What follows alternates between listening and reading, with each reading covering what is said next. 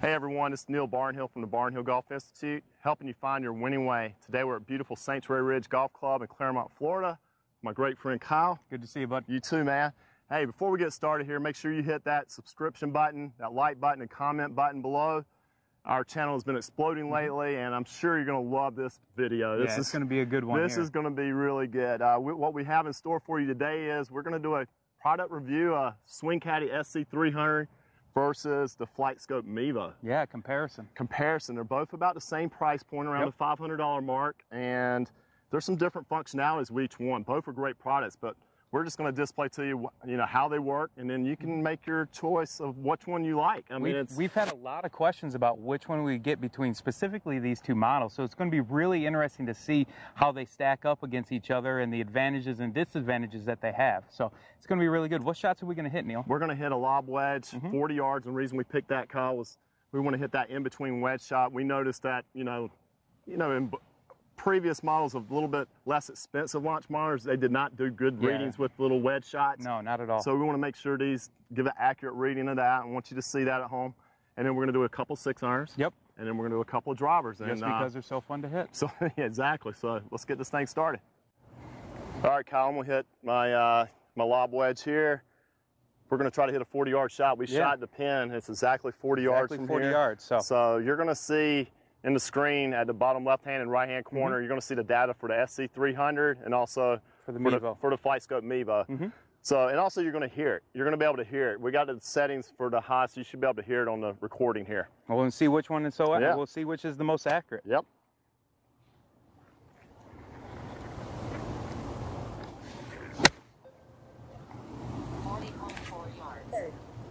So I heard 40 Point four. on the Mevo Yep. And 36. So again, the, the Mevo's showing it going a little farther. Now, how far do you think you hit that one? Neil? Well, it landed dead even with the 40 yard All flag. right, so, that was pretty accurate on yeah. the Mevo's part. All right, Yep. a little off on the swing caddie, but just not a too little bad. bit. Not bad though.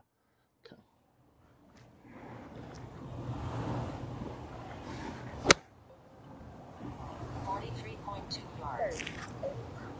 So 38 yards, Yeah. and I think 42 or 43 on the Mevo. Yeah, it was kind of in between. So it was like really about, it landed right at 39. It was about a yard short of the flag, Okay, not all right. 43. So uh, it's pretty good for both Pretty, of them. pretty accurate. All right, Yeah. let's see how I can do.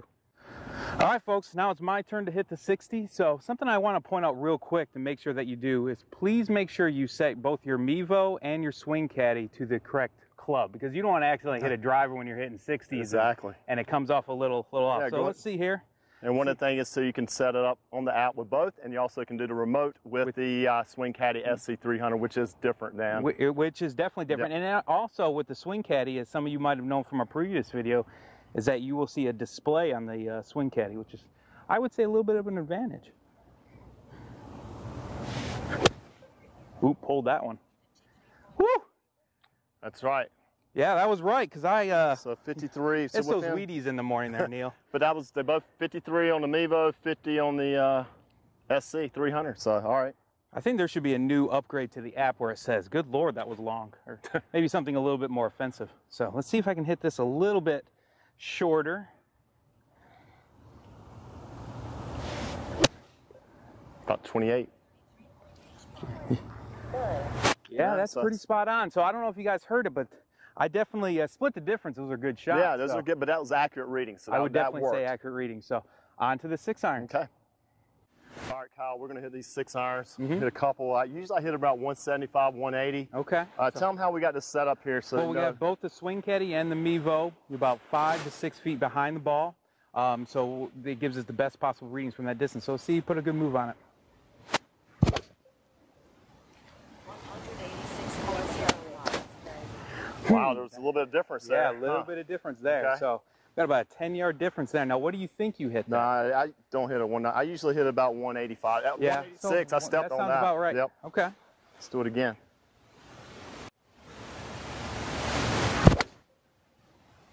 One hundred seventy-three point four yards. So now that's got 190. Yeah. So it's picking up, but giving a little bit more distance. Yeah. I think I, it's, it feels like the Mevo is probably a little bit more accurate with the six iron right now. Yeah, yeah, We'll see how I do. Yeah, I hit that a little thin there. So that was yeah. Okay. All right, Neil. So it's my turn to hit the uh, hit the six iron. So we'll see. I usually carry this really similar to you, 180, 185. 185. So we'll Yep. see. We got both set up on six iron. So we'll see uh, right at the target out there.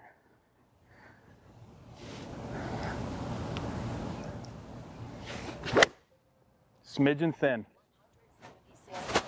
176, 182. All All right, right. pretty good readings there. Yeah, pretty close there. That's so that's about you know that wasn't that thin, just a touch, but a that was still one good one hit. groove low, as the professionals say, which I'm definitely definitely not a professional. So try to get a good flyer lie there.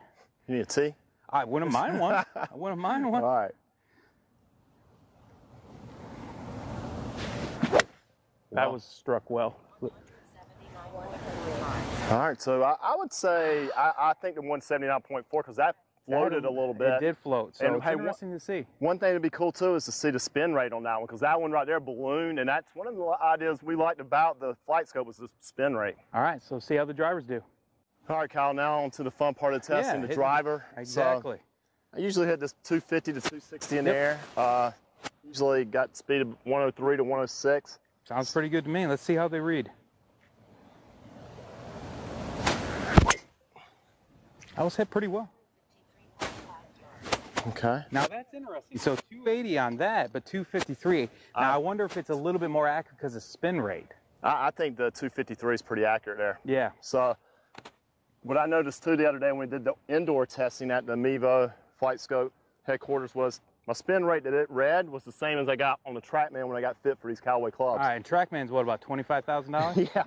so, That was really well hit,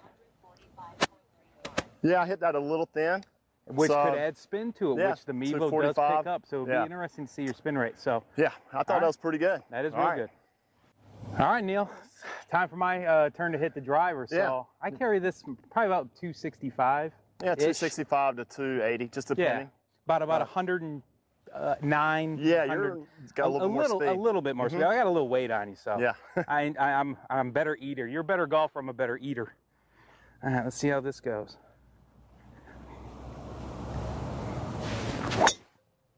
Well hit. 43.0. Huh. Huh? I mean, I hit that pretty well. I mean, a hit a little little a little high in the club face. That could have been pretty. I, I, you know, Who knows? Maybe just a lot of roll. So All right. again, that's kind of the cool thing about the Mevo, the spin rate. yeah, I think that You know, that that has a lot to do with it. a lot to do. So, all right, let me see if I can hit it in the middle of the club face. Now, it did my uh, swing speed was down a little bit, so Mm-hmm. maybe I guess trying to be too smooth, but I think that's a good thing.